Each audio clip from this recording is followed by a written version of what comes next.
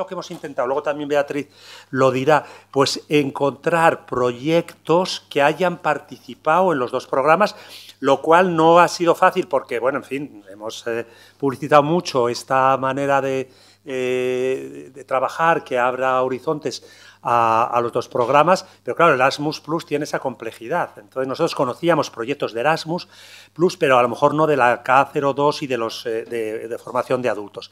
Pero en cualquier caso son instituciones activas en el ámbito europeo y eso ya es una, una, una ventaja.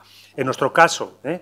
Van, y van a tomar la palabra, van a describirse, vamos, pero van a presentarse y, hablar un poco de las instituciones a las que representan, que nos cuenten un poco cuál es su trayectoria. Les hemos dado una consigna, ¿eh? que también es que queremos aprendidos desde casa, de que lo que tienen que contar es efectivamente que pueden, que pueden participar en diferentes iniciativas europeas, pero sobre todo animar, que sabéis que esa es una de nuestras tareas fundamentales, que es a vosotros en este caso, que sois los potenciales eh, ya no solicitantes, sino eh, postulantes, pues que les os cuenten un poco que, es, factible. Y luego durante el café, que ya sabéis que también este café invitados es más que eh, interesante, puesto que se crea esa, esa atmósfera un poco de, networking, pues ahora resulta que aquí está una compañera de Caudete, que es de un municipio pequeño, de la provincia de Albacete y que me ha contado que tiene tres Erasmus. O sea que, para que veáis, cuatro, perdón, cuatro de estos además, ¿de acuerdo? Dos de aquí, dos de Pero quiero decir que ahí eh, de nuevo se ve un poco esa, esa simbiosis que es, que más que deseable. Yo le contaba además del tema de hermanamiento, por ejemplo, que yo he asistido en algunas kick-off meeting, es curioso, pero viene muchísimas veces muy asociado a temas de Erasmus. O sea, que yo recuerdo las actividades que organizaban en el marco del hermanamiento se nutrían fundamentalmente de alumnos de, Erasmus. O sea que hay ejemplos más que suficientes para ilustrar lo que queremos lo que queremos explicar. Entonces, bueno, los representantes son Lucía Rincón, que viene de la, de la fundación, ahora ya hablará Reardit, que es una fundación que está en Zaragoza, que se presentó en una primera ocasión al programa de cultura y no lo consiguió, se presentó una segunda vez y lo ha conseguido, que tiene experiencia en Erasmus, en este, pero no de, es exacto. Luego viene José Antonio, que viene de Jerez, que es de la Fundación Inter, eh, que también trabaja en el ámbito de la ciudadanía, que además, no lo he dicho porque ha sido quizá lo de ciudadanía un poco precipitado y me excuso ya de antemano, eh, de la acción más complicada a mí me parece la más bonita, pero he hablado, si os dais cuenta, hermanamientos, eh, redes de hermanamientos y proyectos de la sociedad civil, que con ese nombre es Blanco y en Botella, es un programa de ciudadanía, pero que efectivamente es la más concurrente. Se presentan muchos proyectos y dan normalmente uno por país, o sea que la enhorabuena porque es una, es una acción muy, muy, muy competitiva y ahí os, os dije que ahí es el, el, este, el, abanico es amplísimo y entran temas de, perfil muy diverso y él nos contará el suyo. Y luego ya, Beatriz, tú cuentas la de tu participante, que es Natalia, entiendo. Con lo cual, eh, tienen tanto usuarios en edad escolar como, como personas adultas en la, en la asociación pero los proyectos en los que han participado, tanto de coordinadores como de socios, son eh, vinculados al, ámbito de juventud y de educación de personas adultas, que nos contará ella después. Miel sobre hojuelas, porque ellos, los de, perdón, el caso práctico de, de ya lo contará Lucía, que es de temas de luthiers y de construcción de, de, instrumentos musicales, también está como tema transversal, lo contará de la exclusión social, o sea que estamos creando, yo creo que un team bastante compacto donde hay temas de exclusión, temas de ciudadanía, temas de educación, temas de cultura y es una buena, digamos, un buen escenario. Así que empiezas ya tú, Lucía, cuando quieras. Vale, gracias. Bueno, pues como ha contado Augusto, yo vengo de Fundación Reardiz, una entidad, de, una entidad social de Zaragoza, que tenemos varias, eh, bueno, tenemos eh, varias áreas, pero eh, últimamente lo que estamos haciendo, o sea, estamos desarrollando muchos proyectos europeos en el área de salud mental. Entonces, eh, tenemos también experiencia en Erasmus Plus, pero como no es o sea, tenemos más experiencia en el ámbito de la juventud, entonces dejaré que, lo expliquen más proyectos Erasmus Plus que lo, expliquen, que lo expliquen ellos. Y yo os voy a contar nuestra experiencia en Europa Creativa, porque como ha dicho Augusto, eh, empezamos a, pensar en un proyecto de, Europa Creativa hace tres años, cuando empezamos a hablar con, con la oficina, con Augusto y todo el equipo de la oficina de de Europa Creativa, porque teníamos ya una colaboración con, entre Fundación Reardiz con, con, el tema de la inclusión social de colectivos vulnerables, como es eh, salud mental, personas con problemas de salud mental, y la Escuela de Violeros de Lutiers de Zaragoza. Entonces, cuando empezamos a hablar, empezamos a hacer eh, actividades locales, eh, colaboraciones entre pues, temas de inclusión social a través de la música, a través del arte y, más específicamente eh, del tema de los violeros y los instrumentos musicales. Y entonces, hablando, intentamos, o sea, pensamos que se podía hacer a nivel europeo, pero teníamos que ver un poco cómo eran las claves y qué socios podíamos encontrar para, para llevar eso a un nivel europeo.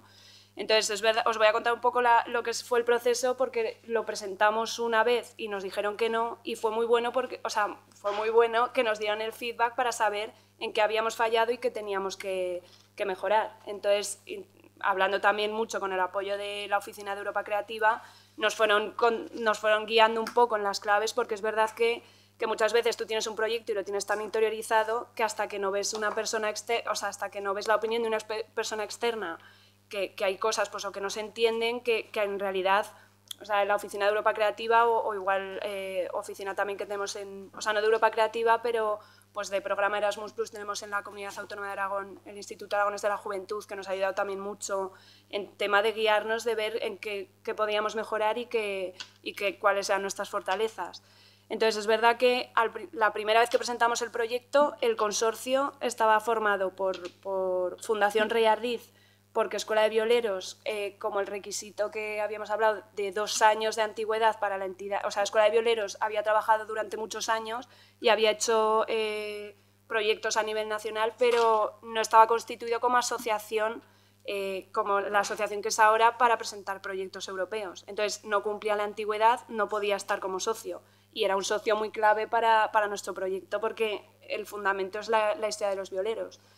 Entonces, estábamos solo Rey Ardiz, una, entidad italiana, y una entidad húngara y una portuguesa. Entonces, el consorcio lo teníamos, pensábamos que lo teníamos bien montado porque era una entidad de cada país, teníamos cuatro países más que el mínimo. Y, y, la verdad que fue un poco, por ejemplo, el socio húngaro, nosotros ya lo conocíamos de otros Erasmus Plus, que habíamos trabajado con ellos y habíamos trabajado muy bien, pero fue un poco socio cogido a última hora para este proyecto y el evaluador lo notó. O sea, el consejo que, que, damos siempre desde Realiz cuando hablamos con otras entidades es que si tú ya ves que la propuesta hay algo que no encaja o no lo tienes muy claro o ves alguna debilidad, el evaluador lo va a notar. Y es lo que nos pasa a nosotros, que pensábamos, bueno, que igual con este socio húngaro, como no es del sur de España, igual no sube puntos por tener diversidad geográfica, pues fue al revés. O sea, en el feedback nos dijeron que que, este socio húngaro que porque estaba aquí, que se veía que tenía, pues le habíamos dejado menos presupuesto, eh, menos tareas y no, no acababa de encajar en, en lo que era el, el, hilo argumental. Entonces eso fue uno de los fallos que, o sea, que, que, mejoramos en la segunda propuesta porque mmm, contra todo pronóstico la segunda propuesta fue con tres españoles, dos de Zaragoza, que decíamos, esta diversidad geográfica por ningún lado, y el húngaro lo sacamos del consorcio y fuimos, o sea, los que estamos ahora son Portugal, Italia y tres españoles, siendo dos de ellos de Zaragoza. Y nosotros teníamos el miedo de que fuera que lo entendieran como un proyecto muy local, porque los dos socios principales, los que los cofundadores de la idea del, del proyecto eran de Zaragoza, los dos de la misma comunidad autónoma, pero lo, claro, lo que siempre decimos es que si lo justificas muy bien, te, lo aprueban. O sea, y es lo que hicimos nosotros, explicamos que, pues que iba a ser para expandirlo por Europa, pero el núcleo del proyecto estaba en Zaragoza, en la Escuela de Violeros de Zaragoza de los siglos XIV, XV y XVI. Entonces, eso fue muy bueno y en el, feedback que te dan cuando... Porque eso está muy bien que, por ejemplo, en Erasmus por, lo menos en el ámbito de juventud, nosotros el feedback que nos han dado no es, muy, no es tan extenso como el de Europa Creativa. Cuando no te, no te aprueban un proyecto te ponen, o sea, te, sí que te ponen algún feedback de lo que tienes que, que, mejorar, pero en Europa Creativa son creo que tres folios. No sé si os pasamos alguna sí, evaluación. Sí, sí. Tres folios de que tienes que mejorar en cada, en cada una de las partes. Entonces, el, el consorcio lo mejoramos y lo entendieron como, como bueno para, para desarrollar el proyecto y otra de las partes que también nos modificamos bastante fue el tema del presupuesto. Y como decía Augusto, que en el anterior eh, periodo había un máximo de 20% ¿no? de, personal, en este lo quitaron y nosotros nos han aprobado un proyecto con casi el 60% de recursos humanos de, de, la parte de staff, que también hablando con, con la oficina nos decía tener cuidado con el presupuesto, que sea equilibrado, Pero claro, nosotros justificamos mucho que para el desarrollo de audiencias que queríamos hacer y la prioridad de, recuperación del patrimonio necesitábamos todos esos recursos. Entonces, es siempre si la propuesta convences al evaluador de que realmente necesitas esos recursos, te la, o sea, que, que nosotros íbamos con un poco de miedo de decir vamos a cambiar un poco el proyecto, vamos a adaptarlo para los requisitos de la convocatoria, pero en realidad si te crees el proyecto y le estás contando y concretas exactamente, desglosas qué tareas van a hacer las, las personas y por qué necesitamos tanto, tanto presupuesto, aunque no sea lo normal y la media y lo que recomiendan, es verdad que, te lo, que la clave es eso, en justificar qué es lo que necesitas y cómo lo vas a hacer. Y, y otro de, los, de las claves, por deciros un poco lo que, lo que cambiamos, fue las concretar absolutamente todo, porque es verdad que en la primera propuesta nosotros en la cabeza lo teníamos muy claro, que queríamos hacer un proyecto de a través de la reconstrucción de instrumentos y contar la historia de los violeros que salían de Zaragoza y, y, o sea, y, hacían, tuvieron la influencia hacia Italia y hacia el resto de Europa, fue como contar la, la, historia de los violeros, que es el proyecto en sí, y de ahí sacamos la prioridad de Europa Creativa de recuperación del patrimonio, tangible e intangible, porque reconstruimos instrumentos y recuperamos música que hoy en día no se puede tocar porque los instrumentos, o sea, existen las partituras de esos siglos, pero no existen instrumentos para, para tocarlas porque, porque ya no quedan. Entonces es un poco la recuperación de ese patrimonio, la expansión y la difusión a, a toda Europa y luego el desarrollo de audiencias, que eso estuvimos hace dos semanas en el kick-off en Bruselas para contarnos un poco cómo teníamos que hacer la gestión de, o empezar el proyecto, eh, conocimos a nuestro project officer, que como decía Augusto, son súper accesibles, es verdad, no te contestan al momento por email, pero, pero te contestan en cuanto pueden y, son, o sea, conocimos tanto a nuestra project officer eh, como a otros de, de otros proyectos y, y, son, te ayudan en todo, te facilitan y es verdad que son bastante flexibles que, lo que te recomiendan. Si necesitas cambiar algo del proyecto o presupuesto o partidas, si tú lo justificas y lo comunicas a tiempo, son bastante flexibles en eso también. Entonces, con ese desarrollo de audiencias y esa recuperación de patrimonio, desarrollo de audiencias, porque nosotros nos, nuestro proyecto, el objetivo es, a través de esa recuperación del patrimonio de la Escuela de Violeros, eh, dar accesibilidad a la cultura a colectivos vulnerables como eh, lo estamos abriendo a, discapacidad en general, diversidad funcional, pero claro, nuestro, eh, nuestro colectivo, el que tratamos nosotros, es personas con problemas de salud mental. Entonces, esa fusión ahí nos dieron, nos dieron la enhorabuena en Bruselas porque era un proyecto que fusionaba esas dos prioridades y lo hacía de una manera innovadora. No es solo hacer actividades culturales para personas con eh, con, con, más problemas de accesibilidad a la cultura, sino que los involucramos y, y los hacemos partícipe de ayudar a recuperar esa, eh, esa, la recuperación del patrimonio. Entonces fue un poco eso, las claves que nos, nos, nos, comentaban en Bruselas que fueron las que nos permitieron que aprobaran el proyecto. Vengo de AJ Inter, que es una asociación de Jerez. Empezamos como jóvenes, o sea, en la asociación de hacer proyectos de juventud en plan voluntario y acabamos desarrollando la organización y dedicarnos profesionalmente a este mundo. Entonces nosotros principalmente trabajamos con un proyecto de la sociedad, sociedad civil en, en, Bruselas y Civil Society Corporation se llama. Entonces trabajamos el tema de la ciudadanía y el tema de la participación en democracia y hemos hecho algunos proyectos referentes a esto. Entonces pensamos que, que es un tema que se debate mucho, pero como que está muy a alto nivel, que realmente la mayoría de la gente no entiende qué significa eso de participación cívica o sociedad democrática. Se habla a nivel intelectual, pero a nivel práctico queda un poco ajeno. Entonces decidimos, una vez fuimos a una presentación como esta, pero en Sevilla, que vino gente del condado de Huelva, explicaron su proyecto, que era de hermanamiento de ciudades, era distinto al nuestro, pero era una bueno, es un ayuntamiento. Y como ya teníamos una idea de desarrollar el tema, digo, bueno, vamos a, presentar un proyecto y al final pues así aprobar.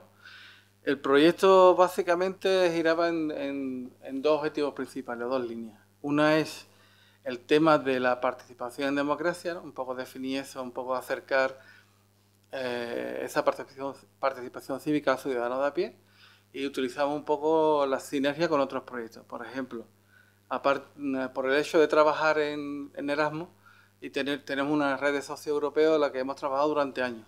Entonces, digamos, la parte de los socios lo teníamos fácil en ese sentido.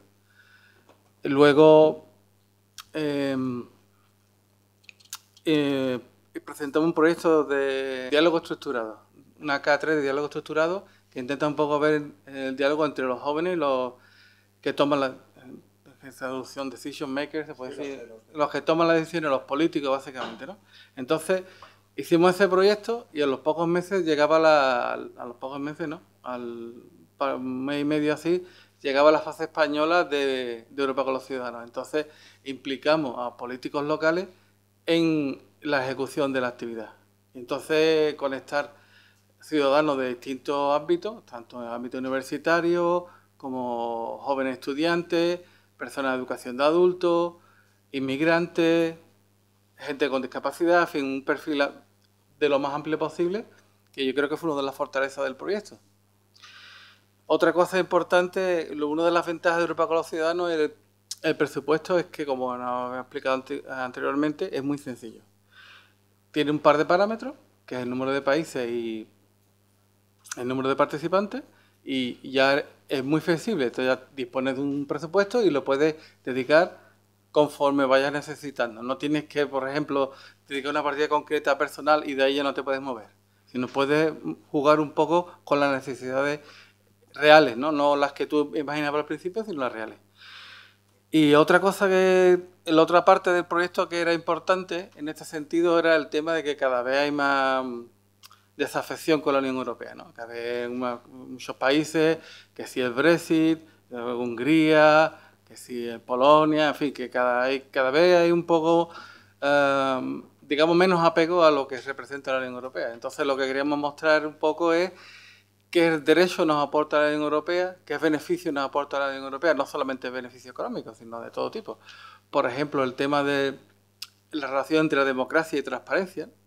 Por el hecho de estar en la Unión Europea es obligatorio tener una ley de transparencia y tener unos estándares mínimos de transparencia, que hemos visto que hay una relación entre transparencia y democracia y transparencia y desarrollo económico. Entonces, hicimos una, un podríamos decir, un estudio, no solamente las personas que participan en el proyecto, sino hacer una encuesta más amplia para que participaran varios cientos de personas, creo que al final han participado unos mil. Y luego el tema de la difusión y el impacto. Es importante cada vez más en los proyectos europeos de tener de que el proyecto no se quede, digamos, en las personas que realizan el proyecto, sino que tenga una repercusión mayor y que se vean los resultados. Entonces nos basamos básicamente, que estamos ahora en fase de elaboración, crear un, material gráfico y utilizamos para difusión los podcasts. Podcasts son como archivos de audio para difusión y vídeos, aparte de crear algún material literario, ¿no? con la descripción de resultados y los elementos más importantes del proyecto, las metodologías que hemos utilizado. En nuestro caso, por ejemplo, trabajamos con la educación no formal. Entonces, digamos que el formato es diferente. Intentamos que la participación sea más activa. Digamos que no es como, por ejemplo, en este momento que estoy hablando y vosotros estáis allí, no, sino un poco más interactivo en que todo el mundo está en el mismo plano. Eso es lo, que hemos desarrollado en el conjunto del proyecto. Básicamente es lo más importante. Hay un vídeo por ahí que nos pondrán luego, me imagino. Y cuanto a Erasmus, bueno, hemos hecho muchísimos tipos de Erasmus en realidad, pero a lo mejor no exactamente. Te paso a ti, quizás. ¿Cuál es el tuyo? Sí, sí, dinos Erasmus. Pues hemos hecho una K2, hemos hecho K3. K2 es vuestro. Sí. Pero es de, es Capacity Building, es de la comisión. Ah, vale, sí, es centralizado. El que has dicho que depende sí. Hay varios, sí, sí, sí. de K2 hay centralizados sí, y lo dijiste, sí. Y el diálogo estructurado, una K3, unos con la agencia nacional y otro con la agencia ejecutiva. Y luego hemos hecho, acabamos de hacer un, un curso de formación de juventud. Hemos hecho en el pasado uno antiguo Leonardo y Grundy, que tuvimos la mala suerte que como somos más especializados en juventud, el proyecto se aprobó en todos los países menos en España.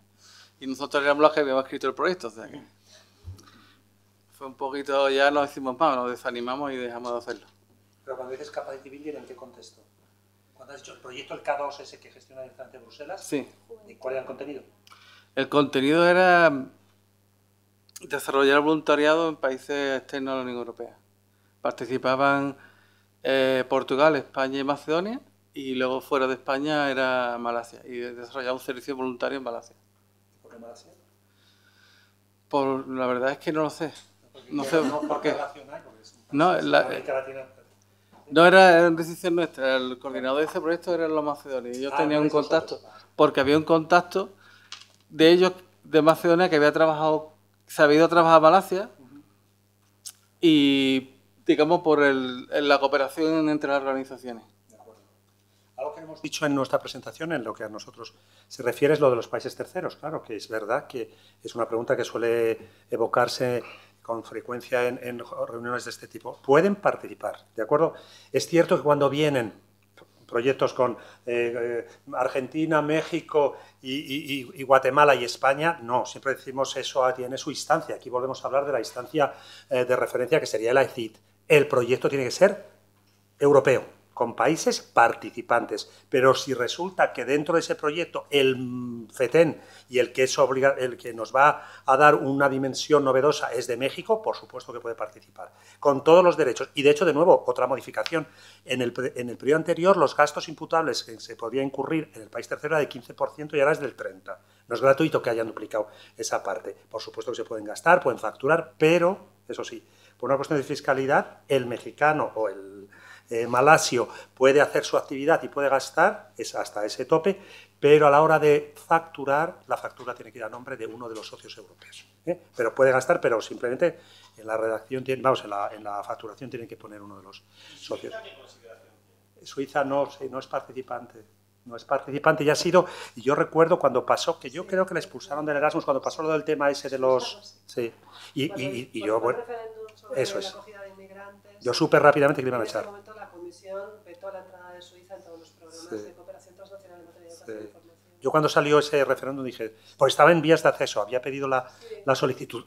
y luego hay eh, conflictos diplomáticos, porque tú has hablado de Turquía, y Turquía, que fue, era país completamente participante, con un punto nacional de información, hemos, hemos ido a, a, a, Turquía, a Estambul a las reuniones, cuando pasó el tema este de los armenios, eh, pues le expulsaron. La chica, yo lo, le oí en una reunión que había salido y la verdad no salió, le expulsaron. O sea que ya no, ya no es país participante en cultura, porque con este tema así de, bueno, pues de conflicto pues se decidió que no. Pues yo vengo de la Fundación ASPA en Castilla y León, como decía Beatriz, nosotros trabajamos con personas con discapacidad física, fundamentalmente son lesionados medulares y personas que han sufrido ictus o daño cerebral. Los proyectos que, organizamos siempre van enfocados hacia la inclusión, es decir, trabajamos con, usuarios que tienen una discapacidad, pero en las actividades que organizamos intentamos que participen también otras personas que no tienen discapacidad, para que no se convierta en una especie de gueto de personas en silla de rueda o personas que han sufrido un ictus. Y eso es un poco lo que trasladamos cuando participamos en proyectos europeos. La experiencia que tenemos en, en, el ámbito de los proyectos europeos está, por un lado, desde nuestro centro de investigación, ahí participamos en, proyectos de, de, CADOS del CEPIE, de educación universitaria, que van más enfocados a temas de más de más de el diseño de videojuegos para la telerehabilitación de, de, personas pues, que a lo mejor tienen problemas de visión a causa de un ictus o, o, cuestiones similares. Y luego, por un lado, en el Departamento de Desarrollo Asociativo y, y Juventud, que es en el que yo estoy, tenemos proyectos tanto de K1 y K2 de juventud, como proyectos de K2, que son los que ahora comenzamos como coordinadores con, con el mm. CEPIE de educación de, de, personas adultas. Y luego, como comentaba él también, tenemos uno de Capacity Building, pero de los que van directamente a Bruselas, también como, como K2. El proyecto que comenzamos ahora de, de educación para personas adultas es un proyecto de danza terapia. Se trata de formar a trabajadores sociales o educadores sociales, personas que trabajan con, el sector de educación para personas adultas, para que utilicen esta herramienta del baile, de la danza, de la danza terapia, para fomentar la inclusión de colectivos desfavorecidos. Es un proyecto que coordinamos nosotros y en el que participan socios de Italia, de Rumanía, de Bulgaria y de Francia. es un consorcio un poco mezcla, porque, bueno, es lo que comentabais antes, no somos todos los socios eh, del mismo perfil. Tenemos, por ejemplo, la entidad rumana que está más centrada en la parte de psicopedagogía. Es una entidad que se dedica a consultas psicológicas, cursos de formación, pues aportando un poco esa experiencia desde el punto de vista psicopedagógico. Luego tenemos la entidad francesa, que está especializada en la materia de danza terapia, en cuestiones de baile y de cómo utilizar esta herramienta de, la danza terapia para, para afrontar la inclusión y trabajar con diferentes colectivos. Y después sí ya las otras tres entidades, Italia, Bulgaria y nosotros, trabajamos con colectivos desfavorecidos. En el caso de Italia trabajan más con migrantes, con refugiados, y en el caso de, de la entidad búlgara trabajan con discapacidad, eh, con salud mental, igual que, que, la compañía. Entonces, bueno, pues eso es lo que... ¿Y de cultura? De cultura estamos ahora a ver si nos metemos un poquito. ¿Y de ciudadanía tampoco? No. Bueno, pues eh, una vez que se han hecho los, los planteamientos, eh, ¿os tocaría a vosotros eh, hacer algún tipo de reflexión, de consulta, pregunta, uh, sugerencia? ¿Sí? Yo quería preguntarle a Natalia, bueno, muchas gracias por contarnos sus casos, eh, sobre todo por la captación de socios, teniendo en cuenta que son de distintos perfiles, ¿cómo fue ese trabajo? ¿Cómo, cómo lo abordaron? Nosotros, por la experiencia previa dentro del área de juventud, aprovechamos que hay eh, hay unos encuentros para búsqueda de socios. Nosotros con el socio de Italia y con el socio de Rumanía ya hemos trabajado previamente en otros proyectos en el ámbito de juventud. Y esta idea surge porque estábamos en una reunión de otro proyecto en, en Rumanía, y empezamos a hablar pues, de ideas que queríamos llevar a cabo de cara al futuro. Y, y nos dijo el, el, socio, pues planteamos esto del tema de expresión corporal, baile y demás, y el socio italiano nos decía que él tenía un socio en Francia que estaba especializado en este ámbito que él ya había trabajado en otros proyectos y que trabajaban bien. Entonces, bueno, pues de esa manera formamos un poco el, el consorcio con socios con los que o bien nosotros ya habíamos trabajado, como estos de Italia y de Rumanía, o socios con los que ellos ya habían tenido experiencias previas que habían sido positivas. Eso es interesante. Sí, quería comentar precisamente con respecto a la, a la búsqueda de socios. Eh, bueno, como, de, como dice Natalia, también es verdad que el hecho de poder recurrir a socios ya que se conocen previamente es, es, un factor fundamental porque hay un, hay un criterio a tener en cuenta que es la fiabilidad de los socios. Es decir, hay muchos proyectos, ¿no? y bueno, mis compañeros lo, lo, pueden decir también, que se caen precisamente por haber seleccionado socios de manera un poco pues, de última hora o al azar, o porque bueno, parece que, que sí se parece el perfil, pero no sé mucho más. Entonces, los socios, el conocerlos previamente es un valor añadido del proyecto y es, eh, bueno, recordad también que uno de los criterios de evaluación es la calidad del equipo. Y la calidad del equipo se ve también ahí en cómo se establecen esas sinergias entre los socios. En concreto, desde las agencias nacionales organizamos unas actividades de cooperación transnacional. Se llaman así, las siglas en inglés, TCA. Eh, si lo buscáis en la web del SEPIE, lo podéis ver anunciado para todos los sectores educativos. Entonces, las TCAs, que son? Pues son actividades de diverso tipo, pero básicamente lo que hacen es reunir en un solo país a eh, representantes de instituciones interesadas en entrar en algún proyecto. Por ejemplo, nosotros la semana pasada hemos estado en Canarias con una actividad de este tipo y había representadas 65 instituciones de 19 países europeos. Entonces creamos entre ellos grupos de trabajo eh, pues vinculados por intereses comunes, por algún tipo de, vínculo que, ellos encontrasen para que pusiesen en marcha un proyecto. Y la verdad es que de allí salieron ya 16 borradores de proyectos, lo cual es, muy positivo. Entonces, un, un, modo de búsqueda muy bueno, pues que bueno, nada funciona mejor que el cara a cara, ¿no? Entonces es que, que accedáis a estas actividades, podéis buscar en la web del SEPIE, están anunciadas ahí tanto las que organizamos aquí en España como las que se organizan en el extranjero y nosotros seleccionamos a los representantes españoles. Lo tiene que solicitar vuestra institución manda un representante, pero es una, una solicitud institucional. Recordamos siempre lo de personalidad jurídica. Por lo tanto, la solicitud tiene que ir firmada por el representante legal, pero con firma de representante de personalidad jurídica. Y, y bueno, la verdad es que es quizás el mejor trampolín para encontrar socios y a veces ya para traerse un, una idea de proyecto que, José, que había traído un vídeo y que quería que lo pusiéramos antes de pasar al turno de preguntas. Pues nada, lo ponemos un minutito y ya está.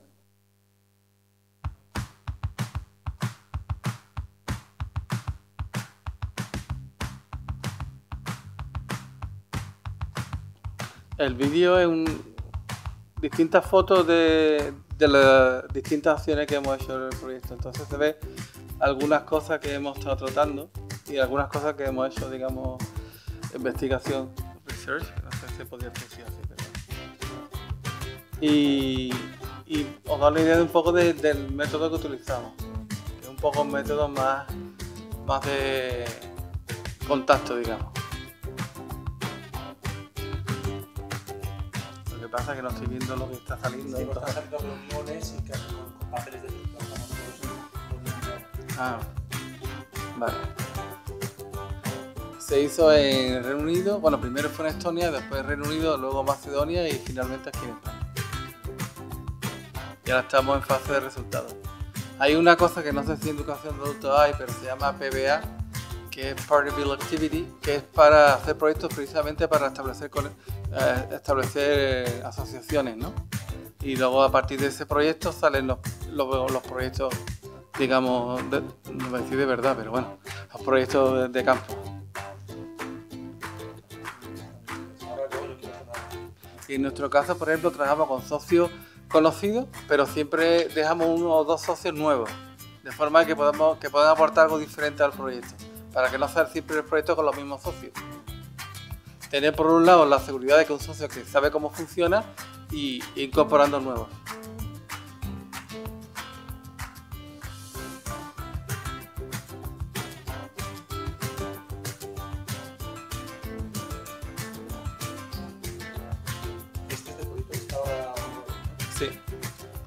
Este es, digamos, una especie de resumen de la- unas cuantas fotos, porque los otros vídeos son un poquito más largos.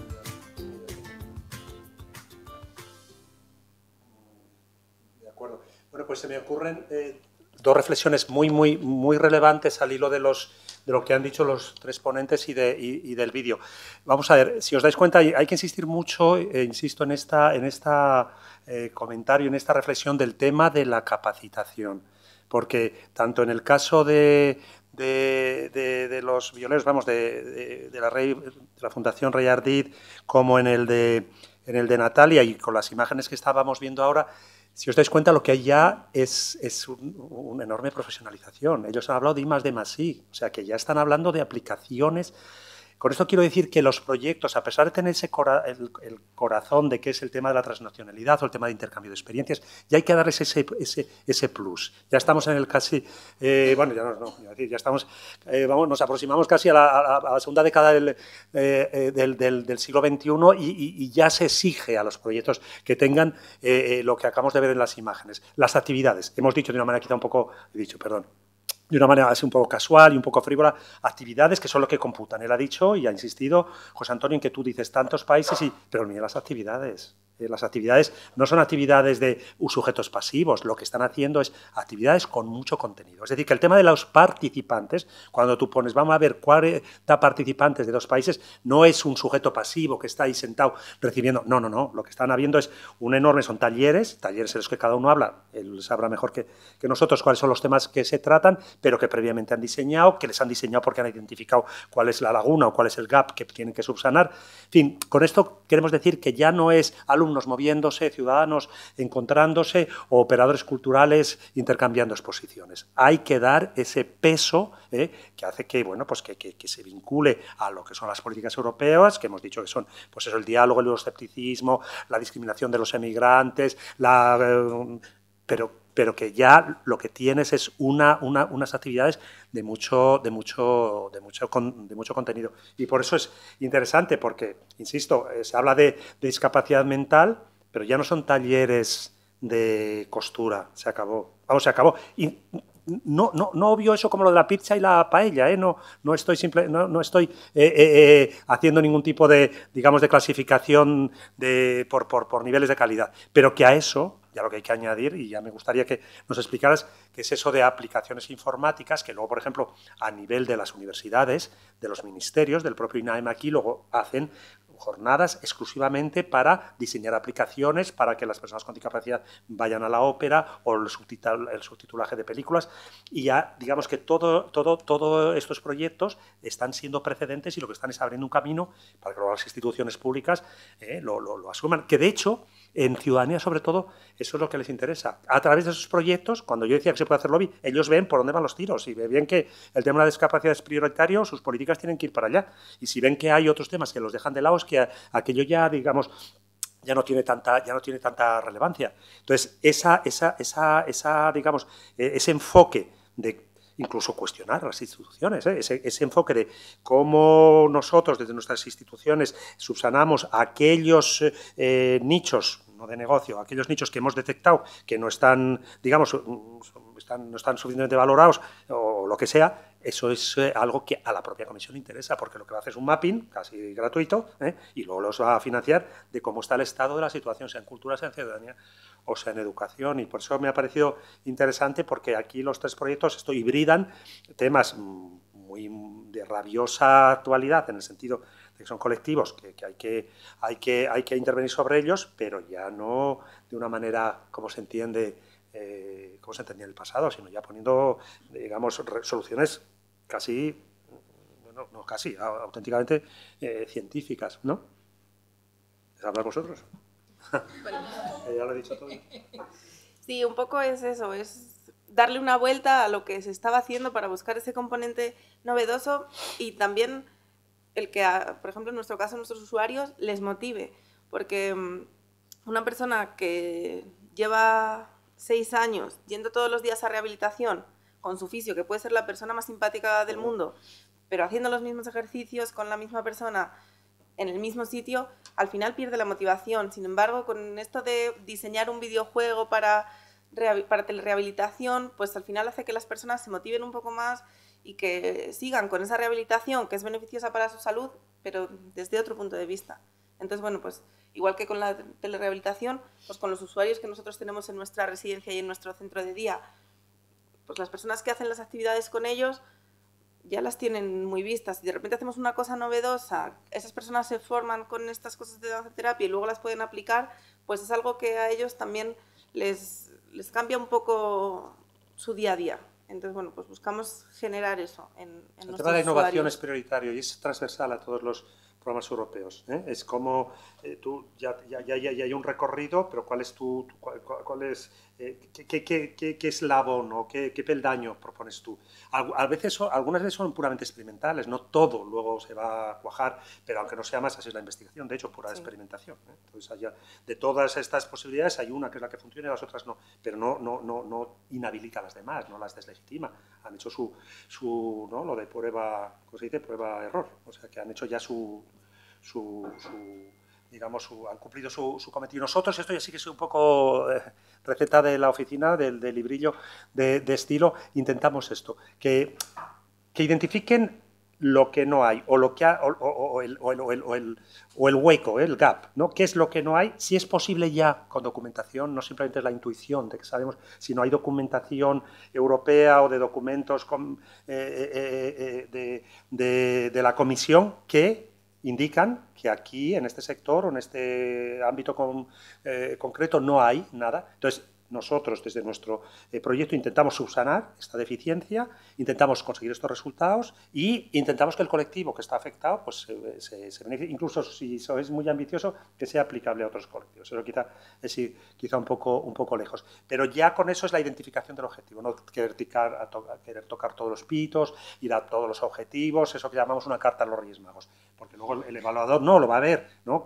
A desarrollo de audiencias, nuevos modelos de negocio, ¿dónde está? ¿Cuál ¿Cómo justificas tú que has, has, has cliqueado este, este, este, este objetivo? Pero sí que es verdad que, que sepan desde el inicio, ¿eh? que tienen claro, y aquí hay ejemplos que no voy a, no voy a eh, señalar, pero que seguramente ellos estarían dispuestos a decirlos, un exceso de cualificación perjudica, las universidades tienen esa dificultad de que son entidades que tienen una eh, trayectoria de investigación. Esto es para todos los públicos. Nuestros dos programas, y creo que el Erasmus Plus no es un I más de más una extra cualificación perjudica al proyecto, lo saca del foco de la ciudadanía, el mayor número de ciudadanos implicados va a ser más beneficioso y normalmente lo solemos decir. Y no es fácil, ¿eh? Rebajar Es más difícil subir que rebajar. Entonces, aterrizar esos proyectos universitarios eh, en un escenario que les pueda eh, servir a la sociedad, para que pueda ser útil a la sociedad, no, no es fácil. Por eso, estos discursos siempre son los mismos, pero depende del colectivo que tengamos enfrente. Y cuando son universidades, o son las OTRIS, o son los departamentos de, relaciones internacionales, tenemos que hacer este, este, esta reflexión. Si nos encontramos, lógicamente, con artistas puros y duros, ahí la batalla está planteada con el tema de los papeles, porque no quieren saber de ellos, porque es como que eh, mata un poco, como, como desactiva su proyecto creativo. Y estamos intentando hacer un vídeo Hoy mismo vamos a entrevistar a alguno de los ponentes donde queremos poner de manifiesto que la formalización de proyectos tiene una parte creativa también, que la creatividad no solamente está en el contenido, sino en cómo haces que este patchwork, todas estas piezas de todos los socios, ya hemos negociado, ya nos entendemos bien, ya sabemos que tenemos un punto común, estamos eh, concernidos por la misma inquietud, pero ahora ¿cómo ponemos eso en un formulario? Ahí también hay una parte creativa, hay una parte de tener una cierta sensibilidad, ahí están los colas, buenos y malos. O sea que ahí es la pelea cuando tenemos un, cuando tenemos un colectivo de, pues eso, de artistas. ¿eh? Y decimos que pueden ser creativos formulando proyectos, porque el proyecto pide algo muy concreto y tienes que, meterte en ese corsé. Y si te pasas, te va a cortar, o sea que tienes un número de caracteres eh, bien concreto. Y luego, si estamos delante de una institución pública, ayuntamientos, diputaciones, pues claro, cuando les hablamos de concurrencia competitivos, eh, por ellos están acostumbrados a los grandes fondos, a los FEDER, que ahí, un poco como las agencias nacionales, el dinero viene a nivel nacional a los ministerios, a nivel regional a las comunidades autónomas, y ellos a quien tienen que comer la oreja es a su consejero o a su diputado, mientras que lo nuestro es concurrencia competitiva pura y dura. No pasamos por ningún filtro. Nosotros, como hemos dicho, va a Europa y, de ahí directamente. ya termino porque eso sí que lo ha, evocado esta eh, eh, Lucía. No hay cuotas ni por países ni por sectores. No hay cocina. Los evaluadores evalúan y luego ellos ven los resultados y ven, pero no son, tienen más. Hemos intentado muchas veces que hubiera ese, extra point, pero no, por ahora no. Si todos los proyectos mejores, nunca se ha dado, estoy poniendo un ejemplo eh, hiperbólico, si los mejores proyectos son italianos y artes escénicas, se los llevan. No hay que decir 20 para artes escénicas, 20 para artes visuales, ni para el norte, ni para el sur, ni para el este, nada. Nosotros en la presidencia, cuando nos tocó, porque tenemos nuestra reunión informal que organizamos, cuando tocó la presidencia española, hicimos un taller que era eso, nuevos puentes de cooperación, ¿vale? Porque es verdad que es mejor que los, los, partenarios siempre son muy, conservadores y muy de vecindad. España, Francia Portugal, Suecia, Noruega y Finlandia, perdón. Y queríamos saber si podía ser la posibilidad de hacer un proyecto desde España a Finlandia. Pero es si el proyecto es bueno. Si no es bueno, ya puedes traer aquí a Susun Corda Tú tienes que justificar por qué está el finlandés en tu proyecto de un país del sur, pero no porque añada exotismo ni le dé un valor más. ¿eh? O sea que esa pregunta que es habitual de si incorporamos a un país, a priori, cero. Si creemos que, cero. Es lo que ha dicho, lo que ha dicho eh, Lucía. El húngaro, el evaluador vio que estaba puesto a capón y fuera. ¿eh? Daba igual que fuera un valor añadido para un partenario del sur de Europa, porque lo vio y mira, prefieren tres de Zaragoza o dos de Zaragoza que uno húngaro, porque los dos de Zaragoza estaban justificados. La pregunta de Meto, ¿para qué? ¿Por qué? ¿Qué va a hacer? Pues la Asociación de Violeros, cuando tuvo los dos años, hizo lo que tenía que hacer y el resultado es el proyecto seleccionado. Pero no, no pensemos en, términos de exotismo, ¿eh? ni de oportunismo, sino de oportunidad. Siempre lo decimos, no es cuestión de oportunismo, es cuestión de oportunidad. ¿Son oportunos? ¿Justificas que hace cada uno? Bien pero no por ser eh, un país que no está dentro de nuestro ámbito habitual de partenariado te va a dar un punto, un punto más. Eh, quería hacer un comentario respecto a lo que estaba diciendo. yo creo que es importante cuando vas a hacer un proyecto, primero tener la idea clara, que es una idea en la que tú estés trabajando, no es una idea ajena a tu trabajo. Que, que, tenga que ver con el tema, o sea, con lo que se está promoviendo en el programa, o sea, que, la, que, que encaje. Y luego que los socios que aporten sinergia, o sea, que sean diferentes. Yo creo que es bueno si cada uno aporta un, plus al proyecto. Y luego una cosa que yo creo que pasa mucho porque llegan, nos llegan correos de peticiones de socios a última hora, un socio que falta entre 10 para entregar el proyecto, eso no, eso no llega, no, el proyecto no va a ser muy bueno seguramente. O sea que ideas de última hora, mala cosa. Hay una cosa más, en nuestro caso, no sé si vosotros los demás lo hacen, si queremos trabajar sobre concienciar en valores, es importante el aprendizaje emocional. Trabajar actividades que mejoren el aprendizaje emocional, porque es como la gente se implica.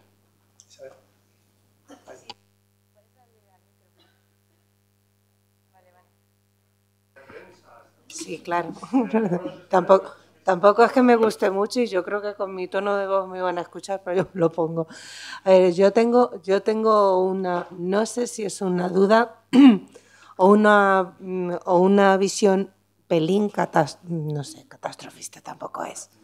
Pero es el, el problema de lo efímero de los proyectos. O sea, yo entiendo que si desde una institución de carácter privado te implicas en este tipo de proyectos, eh, que vas a generar una audiencia o vas a promocionar un talento en una serie de colectivos que pueden tener determinadas dificultades. La dificultad que yo encuentro a la hora de, abordar, de abordarlo desde el ámbito de, lo privado es precisamente la valentía de encontrar la sostenibilidad. Eh, porque, claro, eh, yo vengo con una idea, una idea de Europa creativa, ¿no? Y la idea de, Europa creativa, al final, en lo que se traduce es en un producto determinado o en un servicio determinado que pasará a formar parte de otro canal o de otro circuito y entonces será más o menos vendible, porque al fin y al cabo estamos hablando de, lo que puede ser un elemento cultural. Eh, lo bonito y lo interesante precisamente es la combinatoria de, potenciar un, talento, de generar una audiencia, de utilizarlo como medio y, de interaccionar diferentes políticas, pero a mí me parece el riesgo de, encontrar precisamente la sostenibilidad en las actividades que vosotros estáis haciendo en una reflexión que tenía nada más. Muchas gracias. Yo simplemente una pequeña eh, eh, comentario. Sabes que la sostenibilidad es uno de los puntos, ¿eh? y, además de siempre, porque, y de hecho, has, punto, has, puesto el, dedo en el, punto, en el punto crucial, porque los proyectos son non-profit. La organización puede serlo, pero el, proyecto tiene que ser sin ánimo de lucro. Tú pides dinero, pero no para generar beneficios, sino para poner en marcha toda tu, toda tu, toda tu, toda, toda tu propuesta. Pero a posteriori sí que lo puede ser. O sea, en el periodo de elegibilidad tú estás enredando, ¿eh? pero luego vas a crear una marca que luego vas a... Y eso sería un punto positivo, porque está armonizado con el tema de la sostenibilidad. Ellos no quieren dar, quieren dar, dinero para que una vez que se acabó el, periodo de elegibilidad, el 31 de diciembre de 2021, cerramos el, equipo y se acabó ¿eh? el, negocio. No, no, no. Tú creas una estructura y un andamiaje que luego, una vez que el proyecto se ha terminado y que ya el periodo de elegibilidad se ha acabado, eh, tú sigues manteniéndolo. De otra manera, incluso lo puedes explotar económicamente. En el periodo, no. Pero luego, a posteriori, sí, puedes crear una aplicación que luego vas a vender, en fin, no, no, no sin entrar en, detalles. Pero lo que te está dando es la pista de que efectivamente tiene vocación de pervivencia, de que no se acabó justo en el momento que el proyecto concluye, en lo que llaman la fecha, la fecha, de, la fecha a tope de conclusión. Entonces, efectivamente, y ese es el reto, yo estoy totalmente de acuerdo contigo, pero eso lo van a puntuar, ¿eh? lo van a puntuar positivamente. Vosotros tenéis con esto de la sostenibilidad, yo creo que la clave, como eh, habíamos comentado antes, es el tema del consorcio, de tener un buen, más que consorcio, o sea, el consorcio se entiende para, para, un proyecto concreto, pero esa red de entidades colaboradoras que, eh, que puedas tener a lo largo de los años, porque nosotros, por ejemplo, lo que hemos conseguido, eh, bueno, llevamos desde pues igual 15, 15 años haciendo proyectos en diferentes programas, pero es verdad que en, los últimos, en el último periodo de desde el 2014 hemos concatenado con, con, como también decía, eh, como decía José Antonio, algunos consorcios con eh, eh, socios que teníamos ya de, otros proyectos y metiendo pues, socios nuevos. Entonces hemos llegado a concatenar pues, una K1 de Erasmus Plus de Juventud, luego hemos hecho una K2, una Capacity Building, o sea, no son el mismo proyecto, pero como decía también antes Augusto, creo que lo has comentado, de comple o sea, complementar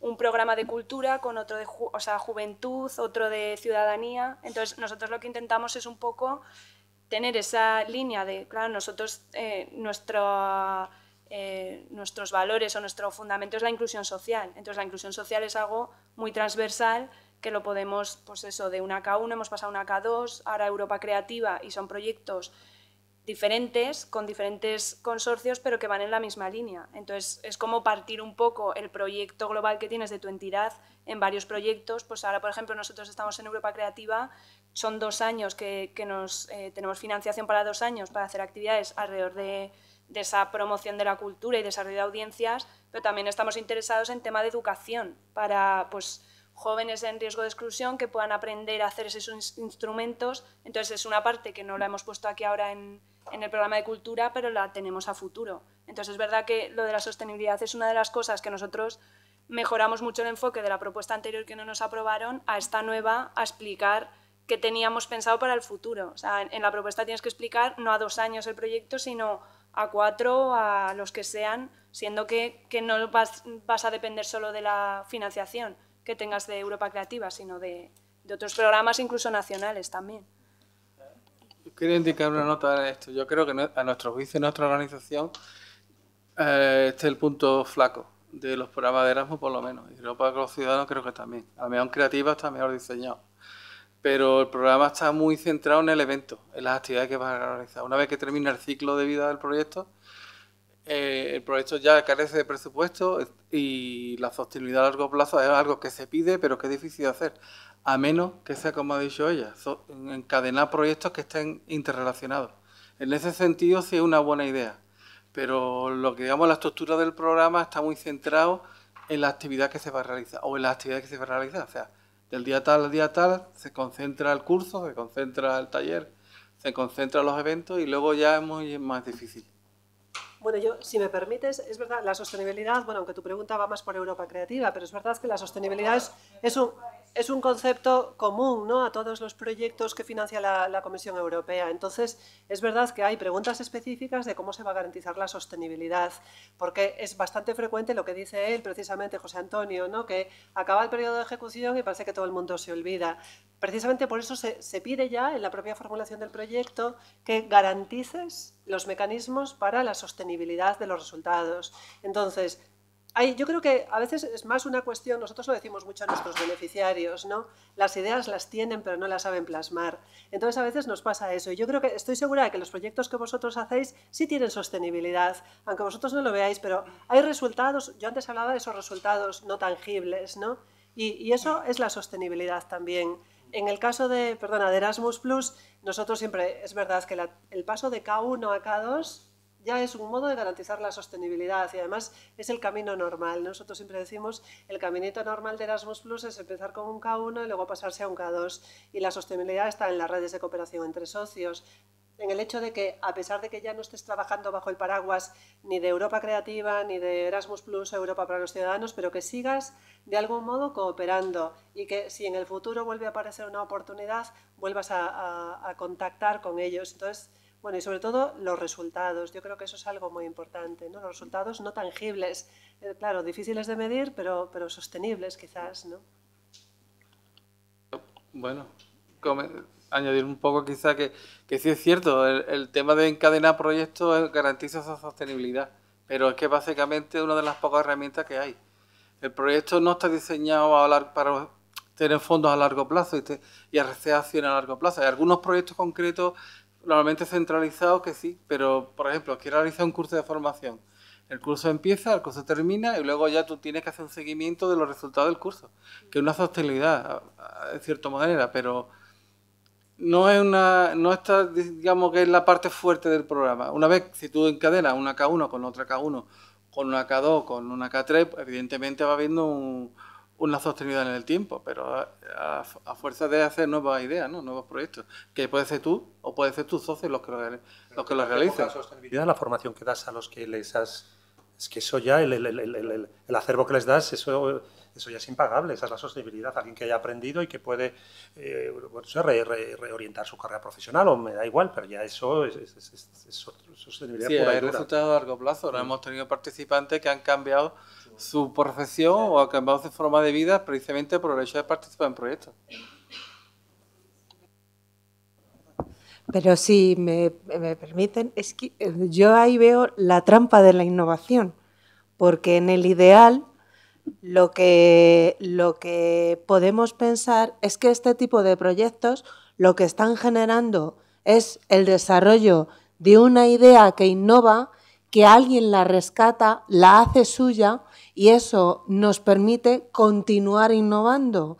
Y entonces, hoy, hoy me toca ser, eh, hoy me toca el día pesimista, lo siento mucho. Y, entonces es la responsabilidad de sostener eso, eso, pero eso concreto que has generado. O sea, eh, ¿qué vas a hacer el año que viene cuando te vuelva, cuando te entren 15 eh, jóvenes con similares características o mil jóvenes con similares características a, los mil jóvenes con los que has trabajado este año? Y bueno, que ya digo que hoy, hoy tengo el día, pero, pero es... Yo creo que en, casos como estos, la sostenibilidad es precisamente que en tu institución se han desarrollado determinadas metodologías que antes no conocíais y que ahora ya estáis aplicando y no tenéis por qué tener una financiación específica. Es decir, nosotros conocemos resultados en bueno, pues cambios organizativos en las escuelas, pues cambios de horario en vez de sesiones de 60 minutos de 90, eh, nuevas dinámicas de carácter estructural, organizativo, metodológico y pedagógico, que eso es la sostenibilidad, porque quiere decir que ese cambio se ha hecho perdurable, por lo tanto es sostenible. Eso es lo que se entiende por sostenibilidad de resultados. Y no es necesario para ello tener una financiación. Entonces, no, no, no, no se ha acabado el proyecto y se ha muerto la innovación, ¿no? Sigue su curso. Eso es, eso es lo que entendemos nosotros por sostenibilidad. Sí, hola, buenas tardes. ¿Me oís bien, no? ¿Funciona? Más, me lo acerco más todavía. Bueno, lo primero, felicitaros a los tres por por todos vuestros éxitos, aunque haya sido producto también de prueba y error y de, empezar por vuestra propia experiencia y demás, porque muchas organizaciones empiezan de cara a solicitar un proyecto por crear un comité. Dicho lo cual, me presento, soy Rodríguez y trabajo para una de esas entidades que crea un comité, una universidad. Yo trabajo en la Universidad de Alcalá y en estos momentos eh, participamos en la creme de la creme de, la, de las acciones 2, de las eh, acciones claves 2, que es una Knowledge Alliance en la creación de nuevos cauces para las empresas creativas y culturales. Esas acciones están enfocadas a la empleabilidad, como, como algunos de vosotros sabéis, y siempre nos han dicho que humanidades y acciones y artes y, creación no, no, lo iban a tener fácil, pero ahí estamos. Y os doy la enhorabuena porque gracias a personas como vosotros hemos llegado a la conclusión de que tenemos que ir a Europa creativa, pero fomentando entre nuestros egresados, entre los futuros creadores, de empresas culturales esa, esa reflexión de cómo hacer durable el impacto que estamos generando con la Knowledge Alliance.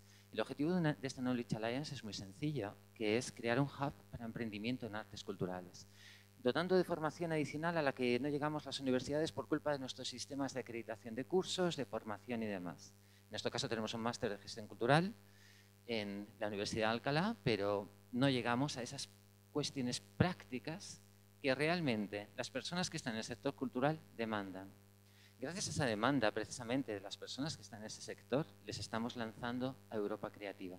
Queremos participar con ellos en Europa Creativa para que el impacto de nuestra Knowledge Alliance Erasmus Plus a través de ese mantenimiento del hub dentro de nuestro sistema académico para personas que trabajan en sectores culturales, estudiantes que van en ese camino, se multiplique con otras opciones que tome la iniciativa dentro del hub esas personas, esos futuros especialistas en museos, esos futuros editores, futuros traductores, futuros eh, em, artistas de diversos, diversos tipos de géneros y demás que quieran crear una empresa.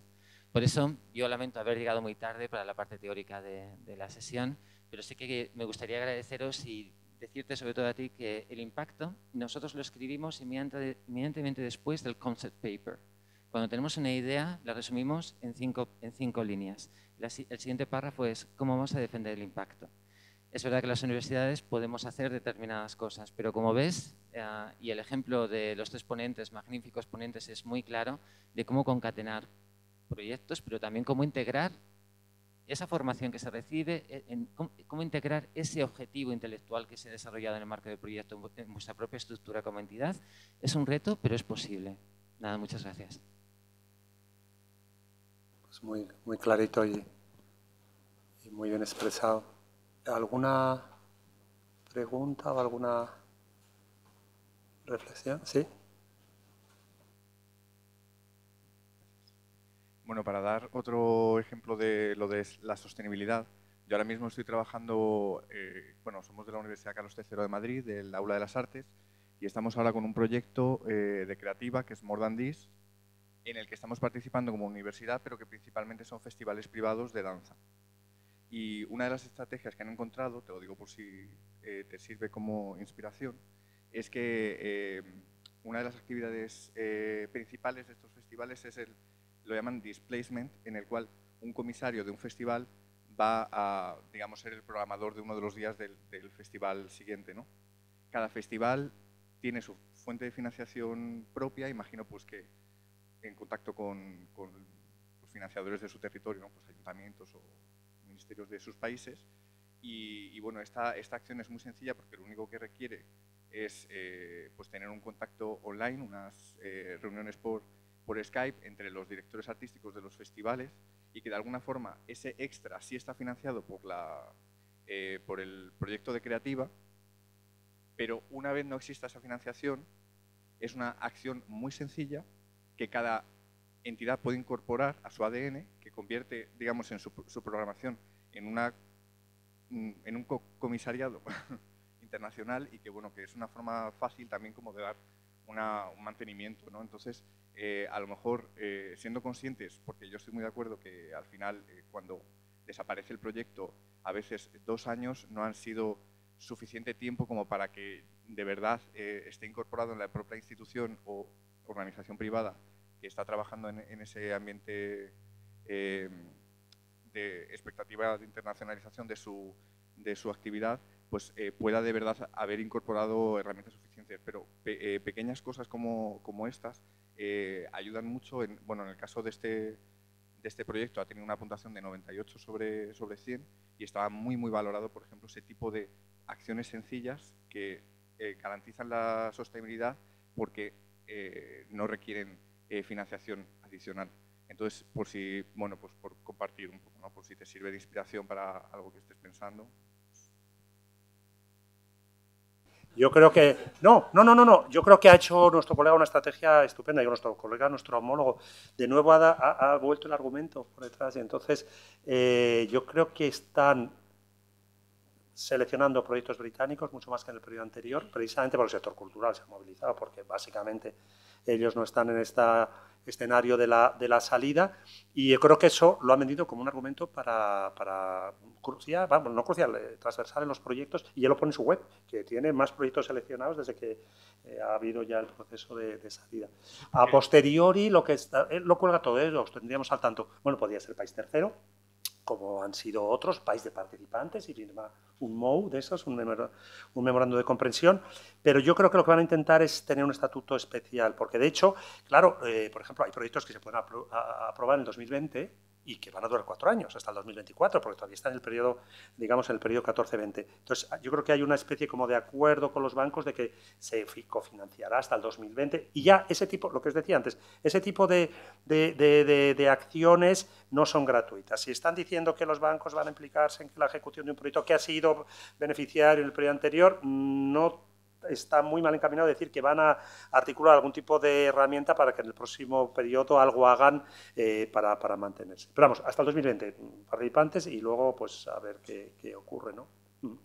¿Y tú crees que está pesando más el hecho de que el sector cultural sea tan anti-Brexit que el hecho de que a lo mejor no pagan la factura? De Exactamente, lo creo, sí, sí, sin duda. Pues solo una, una, recomendación, claro, para eso clausuramos con estas tres ponencias, que es a los de educación que se presenten a Cultura y a Ciudadanía.